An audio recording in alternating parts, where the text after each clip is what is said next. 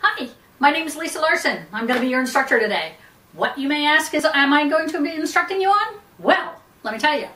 I'm going to instruct you how to change the lens on your DSLR camera. What's a DSLR camera? You don't know? It's a digital single lens reflex camera.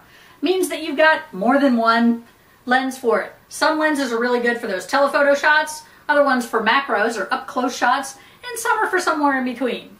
Now I don't have any of those really big long lenses like you see on the pro circuit, you know, at the at the NFL games or whatever, you see those guys get those really long lenses, looks like it takes three people to hold it.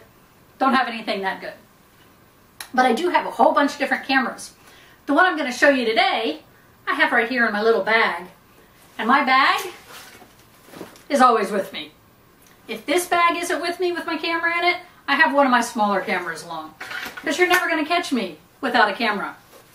So, first thing I do, open up my camera bag, take my camera out. Second thing I do, camera strap around the neck. Camera strap goes around your neck so you don't drop this thing because it's expensive. Okay? Now before you change the lens on your camera, what you need to do is find the on and off switch, and every camera has one, and you turn it off.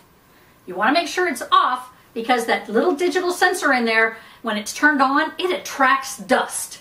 And then you get those little spots on your pictures and you're going, wow, where in the heck did that come from?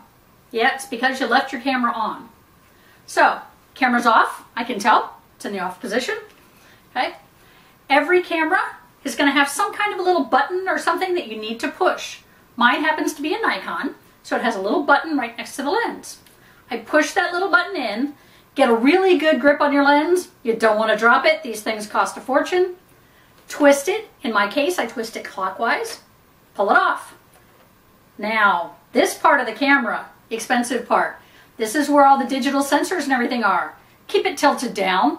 If you keep it tilted up, all that dust that's falling out of the sky, bird droppings, whatever happens to be above you, it's going to end up in your camera. Not a good thing. Cost a fortune to get it cleaned. I'm going to take my old lens, and I'm going to put it in my bag.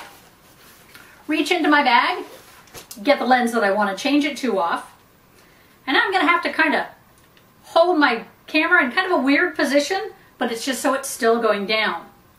Twist off the safety cap on my new lens.